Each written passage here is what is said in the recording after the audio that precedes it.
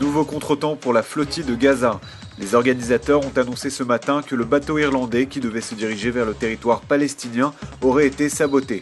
Un problème au niveau de l'hélice du navire a été découvert, empêchant son départ qui était initialement prévu pour les prochaines heures. Il s'agit du deuxième bateau de la flottille à subir une avarie, et ce alors que les organisateurs du mouvement n'ont toujours pas reçu l'autorisation des autorités grecques de quitter le port du Pirée à Athènes. Selon certaines sources, le départ de la flottille pourrait être reporté au week-end prochain.